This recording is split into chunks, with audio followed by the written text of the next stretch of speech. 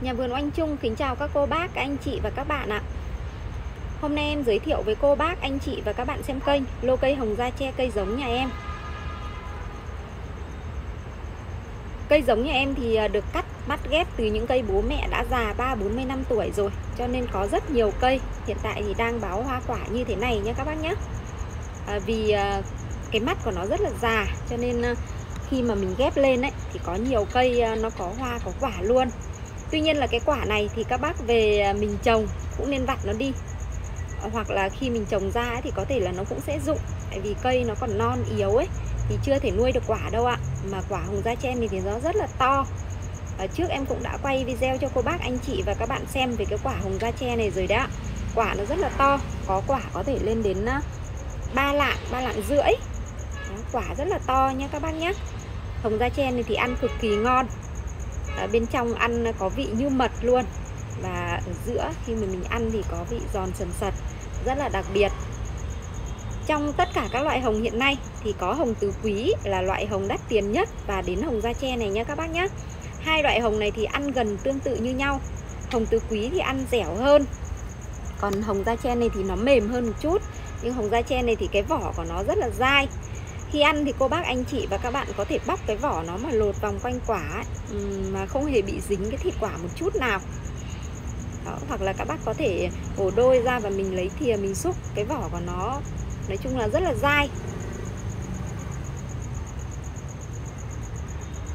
Nhà vườn em thì có các loại giống hồng như là hồng Nhật Bản hồng ờ, da tre hồng da thanh ờ, hồng ngâm Bắc Cạn và có hồng vuông lạng sơn rồi có hồng lồng đèn chín tết hồng tứ quý.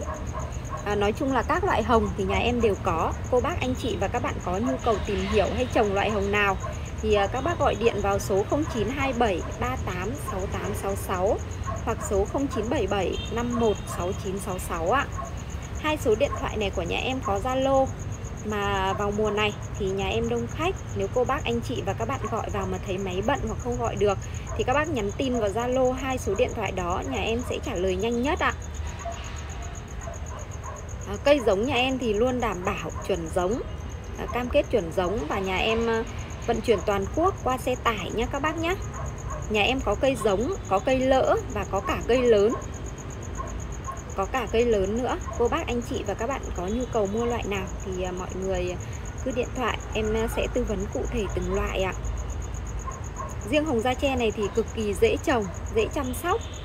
À, đặc biệt là quả thì khi già cô bác anh chị và các bạn thấy khi mà cái quả nó bóng và hơi có một chút màu vàng thì cô bác anh chị và các bạn có thể cắt xuống và mình úp cái quả nó xuống thôi. Hai ba ngày là quả nó chín rất là ngon còn nếu cô bác anh chị và các bạn trồng để kinh doanh với số lượng lớn ấy, thì à, mấy năm trở lại đây thì hồng da tre này rất được ưa chuộng.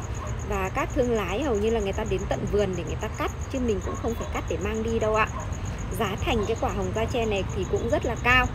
À, giá thành bán sỉ thì tầm khoảng 80 đến 100 nghìn một cân. Còn giá bán lẻ thì à, như năm vừa rồi ấy, những cái quả hồng da tre loại 1 thì à, giá 150 nghìn đến 160 nghìn một cân. Nói chung là giá quả hồng da chen này thì rất là cao. Hồng da chen này không có hạt nhé các bác nhé Không có hạt ạ. Và quả khi chín thì ăn như là mật như em nói đấy. Ăn như là hồng mật luôn. Bên trong thì có vị giòn sần sật, Rất đặc biệt.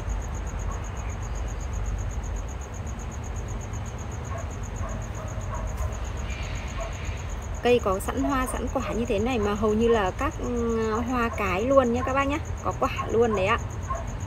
Tuy nhiên là cái quả này thì em cũng không khuyến cáo cô bác anh chị và các bạn trồng giữ quả đâu. À, Thực ra em quay như thế này để cô bác anh chị và các bạn biết là vườn nhà em ghép ở những cái mắt đã già. À, Với những cái cây như thế này ấy, thì chỉ sau một năm là có thể bói quả thôi nha các bác nhé Tuy nhiên là với cây hồng thì các bác nên để đến năm thứ ba mình hãng à, để quả để thu. À, lúc đó thì cây của mình nó trưởng thành nó khỏe rồi. Và lúc Ừ, và lúc đó thì à, nó có thể nuôi cây rất là tốt nuôi quả rất là tốt quả cũng to và chất lượng hơn. Còn các bác à, nếu mà nuôi quả sớm ấy, thì cái cây của mình nó dễ bị suy cây và cái quả của nó thì cũng không được to và chất lượng đâu ạ.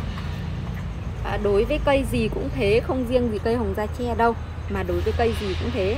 Các bác để nên để cây của mình nó khỏe mạnh ổn định thì các bác hãng à, nuôi quả nhé à, ờ, cái ruộng hồng da tre này nhà em thì rất nhiều cây đang có hoa, có quả. Nếu cô bác, anh chị và các bạn ở gần khu vực Hà Nội hoặc các bác lấy số lượng nhiều thì các bác có thể đến tận ruộng để thăm cây, để xem cây ạ. Cây cực kỳ là đẹp. Ngoài hồng da tre ra thì nhà em có các loại hồng nữa. Cô bác, anh chị và các bạn có nhu cầu trồng hồng nào thì ờ, các bác cứ liên hệ trực tiếp hai số điện thoại trên màn hình nhé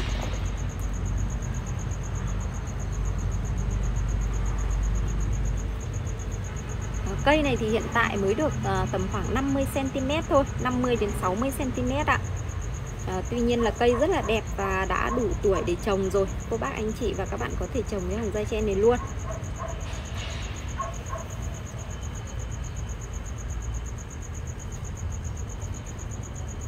Lá hồng da tre em cũng đã giới thiệu với cô bác anh chị và các bạn rồi đấy Phân biệt thì rất là dễ Không khó như những loại hồng khác đâu ạ Em xin phép được dừng video tại đây. Chúc các cô bác, các anh chị và các bạn xem kênh vui vẻ ạ. Cô bác, anh chị và các bạn ờ, cần tìm hiểu về cây gì thì mọi người cứ gọi điện trực tiếp vào hai số điện thoại trên màn hình nhé